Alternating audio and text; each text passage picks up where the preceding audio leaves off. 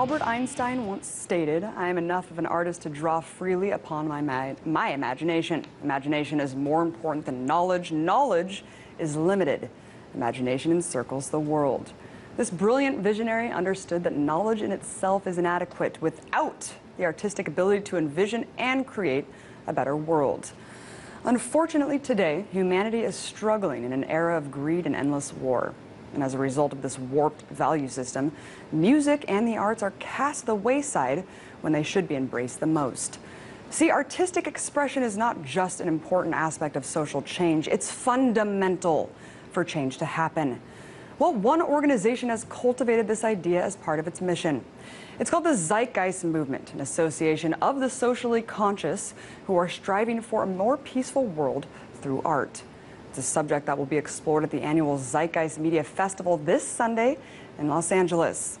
So, here to talk about this upcoming event and how to bridge art and activism, I'm joined now by the founder of the Zeitgeist Movement, Peter Joseph. What is going on, Peter?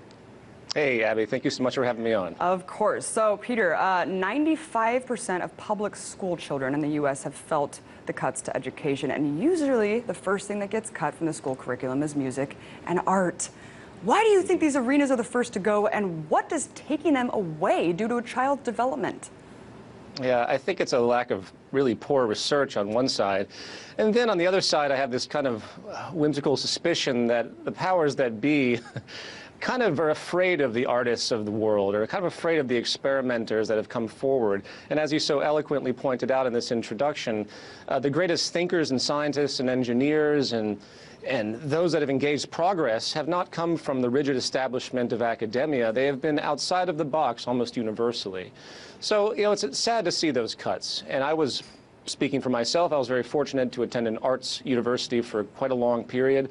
I kind of pull that in for my value system. I encourage anyone that I meet to go into the arts to some effect. Point being is that in the world today, especially on the social level, there's a tremendous loss of creativity. The great failure, one of the great failures, is that no one's thinking broad enough, especially on the social level. And the Zeitgeist movement this is one of our flagship projects. We have another intellectual day called Z Day or Zeitgeist Day. But every August on the 4th, uh, well, usually the first week of August. This year it's on the 4th in Hollywood, a place called Avalon.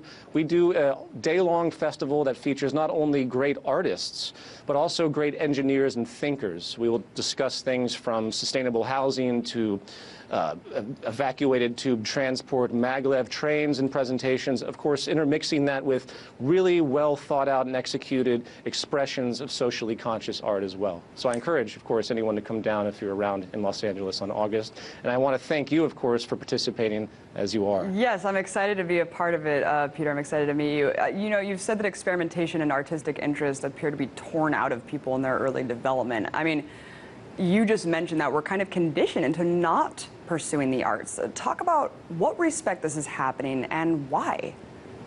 Yeah. I think that, again, there's a rigid uniformity to thought that is very beneficial to the existing establishments.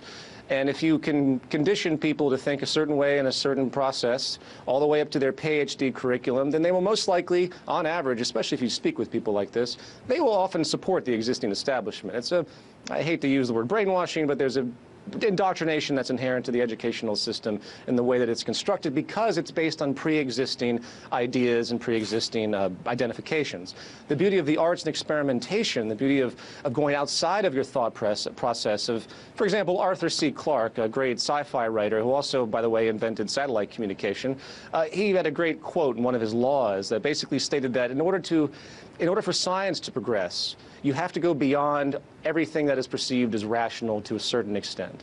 And he was called a mooniac and a lunatic back then because, of course, you know, he was saying, well, we could probably go to the moon. Everyone said, oh, you're crazy. And unfortunately, that's the same type of hype and disposition that we see pushing people back today.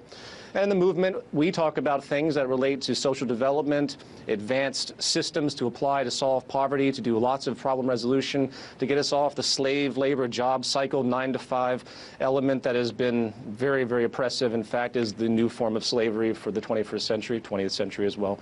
And these ideas are shut down the exact same way. So there's a desperate need, I'll say it again, for new creativity in the world And uh, I, I really believe that, it, just as that Einstein quote points out, we have to kind of shake what we've been taught to a certain effect and start to look at possibilities and ask questions and not feel put down when people say, you know, that you can't do that or that's irrational. We have to push beyond that because every, again, every great thinker, every great inventor, every great person that has initiated social progress has come from an experimental process, which is intrinsically a part of a developmental process.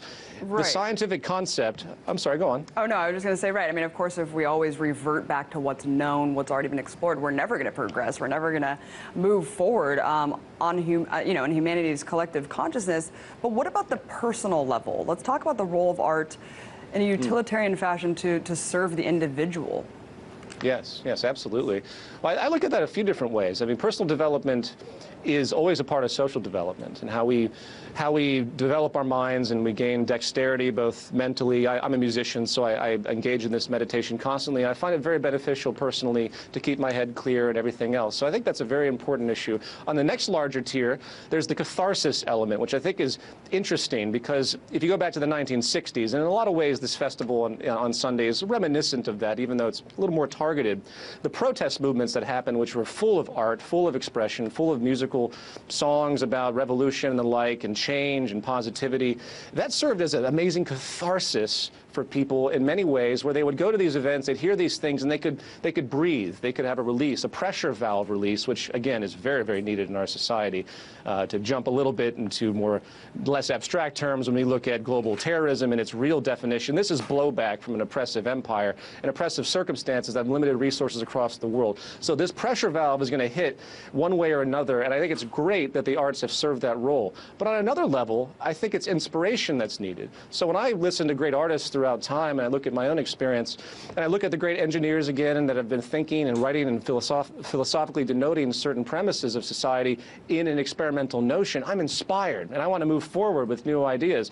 And that's part of the issue of this festival, too. And again, I, I recommend, I, I prefer, I should say, the inspiration element to the cathartic element, because while the cathartic element is, is needed, it's not enough just to get out there and, and release. We want to focus people in a specific way. And again, that goes back to the general, the general foundation of the Zeitgeist movement's work. I agree. Art is definitely fundamental in any sort of progress, any sort of social change. Uh, I think Ron Paul even said, you know, revolution would never happen unless music and art were involved. I couldn't agree more. You know, but Peter, I feel like I meet people all the time who tell me that they wish that they were artistic. It seems like they've been conditioned into thinking that they aren't, but they've never really explored how to express themselves in really this way? I mean, how do we break this mindset? Good point. It's, it's an educational prerogative by all means. I, I, uh, I, am very non-establishment when it comes to the process of education, the entire foundation of rote learning. It basically kind of, I mean, if, you, if anyone that has children knows how deeply experimental they are, how, how the natural curiosity that's built into us is for our survival and exploration, uh, it's, it's there. But something happens to us as we move forward through time, and it's, as you pointed out earlier, it's kind of pulled out of us.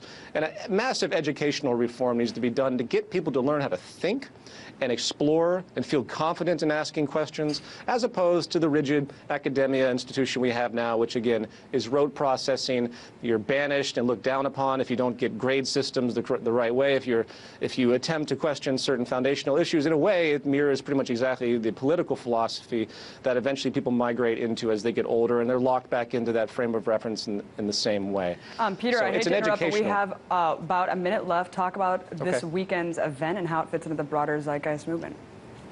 Uh, sure. Well, the movement, uh, as I pointed out earlier, is about broad social change, and we want to engage the public as an educational movement to get information out there and to inspire and to show that the world can change. It's just a matter of humanity coming together to make that collective decision and moving forward, as hard as it may seem.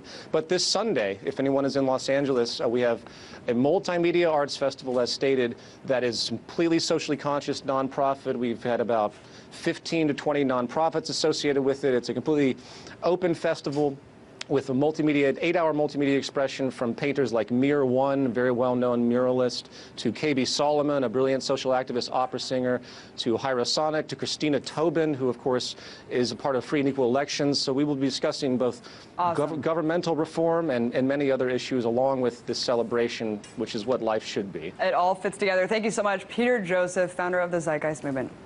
Thank you.